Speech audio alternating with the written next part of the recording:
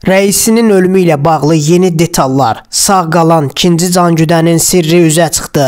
Musavat.com xəbər verir ki, ABŞ-ın məşhur The Time dərgisi sensasiyon məlumat yayıb. Bu məlumat İran prezidenti rəisinin faciəvi ölümü ilə bağlı yeni suallar yaradır.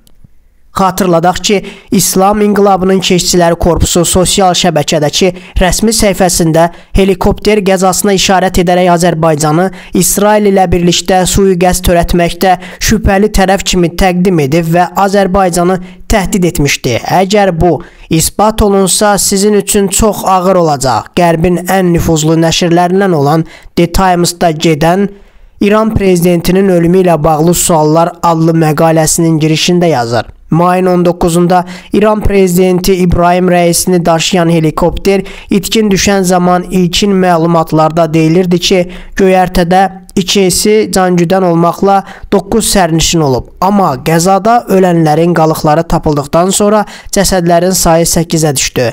4 gün sonra sosial şəbəkələrdəki paylaşımlarda ikinci mühafizəçinin sirri üzə çıxdı. Cavad Mehrabi İbrahim rəisinin anım mərasimində peşman bir halda göründü.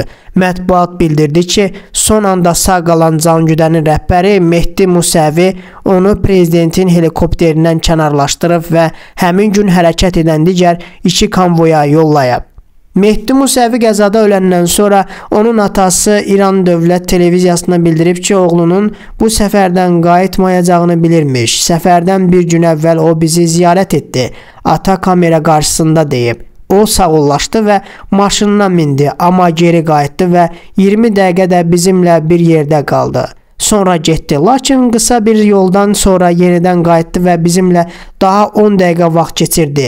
Ata danışarkən az qala boğulur. Oğlum 3-cü dəfə bizimlə sağollaşanda anasını öpdü. Sonra əyilib anasının ayağından da öpdü. Məni öpdü. Sonra əyilib mənim də ayaqlarından öpdü.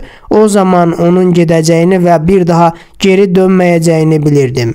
Bir daha görüşməyəcəyimizi bilirdim. Mehdi Musəvi İran prezidenti İbrahim Rəisinin təhlükəsizlik xidmətinin rəhbəri olub. Onun belə bir davranış sərgiləməsi təsadüfi ola bilərmi?